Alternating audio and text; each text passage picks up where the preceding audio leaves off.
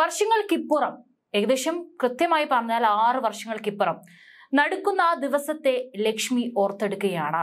ഇത്രയും കാലം ഒന്നും തന്നെ ലക്ഷ്മി മറ്റുള്ള മാധ്യമങ്ങൾക്ക് മുൻപിൽ ഒരു ഇന്റർവ്യൂ അല്ലെങ്കിൽ ഇപ്പോൾ ഉയർന്നു വരുന്ന വിവാദങ്ങൾക്ക് എന്തെങ്കിലും മറുപടി നൽകുകയോ ഒന്നും ചെയ്തിട്ടില്ല. ഒരു പൊതു പ്രതികരണം ലക്ഷ്മി നടത്തിയിട്ടില്ല. അവസാനമായി ബാലു പറഞ്ഞ വാക്കുകൾ നടന്ന സംഭവം അന്വേഷണ സംഘത്തിന് മുന്നിലല്ലാതെ ലക്ഷ്മി ആദ്യമായിട്ട് ഇപ്പോൾ മനോരമ ന്യൂസിലൂടെയാണ് വെളിപ്പെടുത്തിയത്. അത് വ്യക്തിപരമായ ഒരു യാത്രയായിരുന്നു എന്ന് പറഞ്ഞുകൊണ്ടാണ് ലക്ഷ്മി ആറ് വർഷങ്ങൾക്ക് ശേഷം എന്താണ് അന്ന് സംഭവിച്ചത് എന്നുള്ളതിനെ കുറിച്ച് തുറന്നു പറയുന്നത്. അത് അവരുടെ മകളുടെ നേർച്ചയ്ക്കായുള്ള ഒരു യാത്രയായിരുന്നു. താൻ ഒരു അസുഖ അവസ്ഥയിലായിരുന്നു മഞ്ഞപ്പിത്തത്തിന്റെതായ പ്രശ്നങ്ങളുണ്ടായിരുന്നു. അത് പ്രസവശേഷം ഉണ്ടായിക്കൊണ്ടിരുന്നതാണ്. അപ്പോൾ അതിങ്ങനെ വിട്ടുവിട്ട് മഞ്ഞപ്പിത്തത്തിന്റെ ബുദ്ധിമുട്ടുകൾ ഉണ്ടായിക്കൊണ്ടിരിക്കുന്നു. റിക്കവർ ആവുക വീണ്ടും എഫക്റ്റ് ആവുക അതിങ്ങനെ പോകുന്ന വളരെ ക്ഷീണിതമായ ഒരവസ്ഥയിലായിരുന്നു അന്ന് ആ യാത്ര ചെയ്യുമ്പോൾ ലക്ഷ്മി. തൃശൂരിൽ വടക്കുനാഥ ക്ഷേത്രത്തിൽ മകൾക്കായി ഒരു നേർച്ച ഉണ്ടായിരുന്നു. അതിനായിരുന്നു ബാലഭാസ്കറും കുടുംബവും പുറപ്പെട്ടത്. ചിലപ്പോൾ അതിന് പോകാൻ പറ്റില്ല എന്ന് വിചാരിച്ചിരുന്നു. ബാലുവും നാട്ടിലുള്ള സമയം. അപ്പോൾ ബാലുവാണ് ലക്ഷ്മിയോട് പറഞ്ഞത് കുഴപ്പമില്ല. മോളെ ഞാൻ സപ്പോർട്ട് ചെയ്തോളാം എന്ന്. തുടർന്നാണ് അവർ യാത്ര പുറപ്പെടുന്നത്.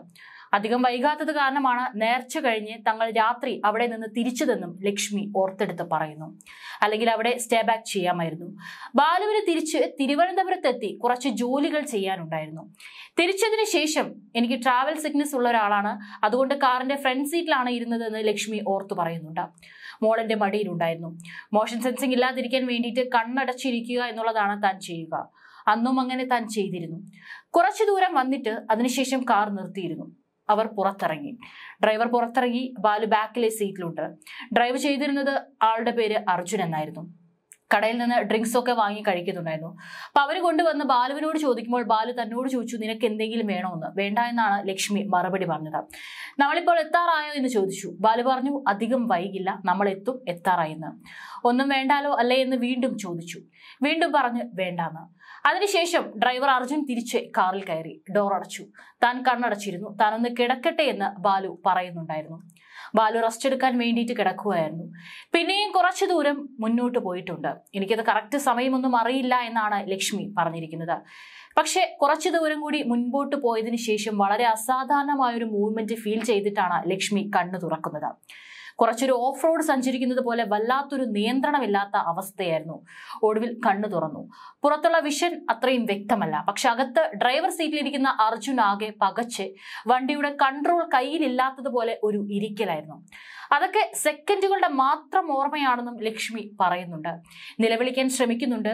ഒച്ച പുറത്തു വന്നു എന്നൊന്നും അറിയില്ല. ഗിയർ ബോക്സിൽ കൈകൊണ്ട് നന്നായി അടിക്കുന്നുണ്ടായിരുന്നെന്നും ലക്ഷ്മി പറഞ്ഞു. അവിടെ എന്റെ ബോധം പോയി. പിന്നെ എനിക്കൊന്നും ഓർമ്മയില്ല. എത്രയോ ദിവസം കഴിഞ്ഞ് ഹോസ്പിറ്റലിനകത്താണ് കണ്ണ് തുറക്കുന്നതെന്നാണ് ലക്ഷ്മി പറഞ്ഞു നിർത്തുന്നത്. എന്താണ് അന്ന് രാത്രി സംഭവിച്ചിരിക്കുന്നത് എന്നുള്ളത് ലക്ഷ്മിയുടെ ഓർമ്മ പോകുന്നത് മുൻപ് വരെയുള്ള സെക്കൻഡുകളാണ് ലക്ഷ്മി ഇന്ന് മാധ്യമങ്ങൾക്ക് മുൻപിൽ തുറന്നു പറഞ്ഞിരിക്കുന്നത്.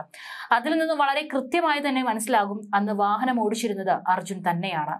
ഈ വാഹനം ഓടിച്ചിരുന്നത് ആരാണ് എന്നതിനെ ചൊല്ലി ഒരുപാട് വിവാദങ്ങളായിരുന്നു ഉയർന്നു വന്ന് നിൽക്കുന്നുണ്ടായിരുന്നത്.